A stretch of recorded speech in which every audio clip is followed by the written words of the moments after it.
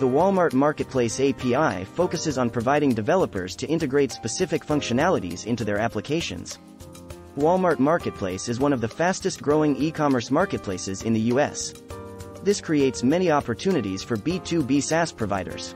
Developers can use various APIs to create applications and integrations that interact with different parts of a Walmart marketplace. Walmart API helps developers create custom integrations and apps for the Walmart marketplace. The Walmart API is compatible with XML and JSON formats, making integrating various systems and technologies easy. By integrating with the Walmart API, you can reap a host of benefits, such as expanding your market share, growing your customer pool, increasing your profits, accessing valuable data, and enhancing the functionality of your services. Integrating your software with Walmart is time consuming and expensive.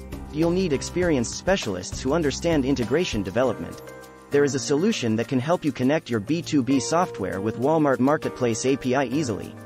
That is API2Cart, the unified shopping platform integration interface.